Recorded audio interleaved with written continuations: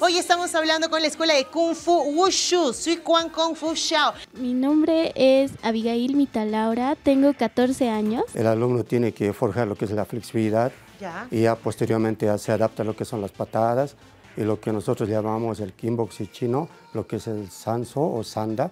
Ya después, posteriormente, a- aprende lo que son armas chinas, adquieren seguridad, destreza, autoconfianza en ellos mismos y aparte eh, les ayuda eh, a vivir día a día porque eh, siempre les recomiendo eh, o les digo que so- ustedes son unas guerreras Habrán notado, gente, que ese ratito ha sacado toda mi cama, porque aquí me gusta recibir a mis invitados y que se sientan cómodos. Mira, no tenemos cama, tenemos los pubs y un espacio maravilloso para que las chicas nos puedan mostrar un poco de lo que están trabajando, cómo practican, y el profe también, porque por ahí usted ha preparado un número fenomenal.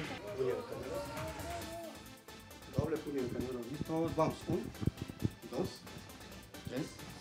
cuatro, cinco. Todos vamos. Un, dos. Siguiente patada. Patada circular afuera. Un, dos.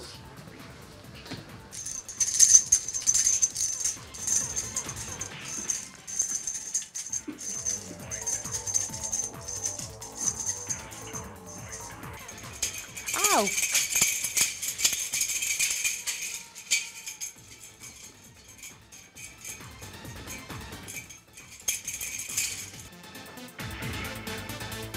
Mucha concentración.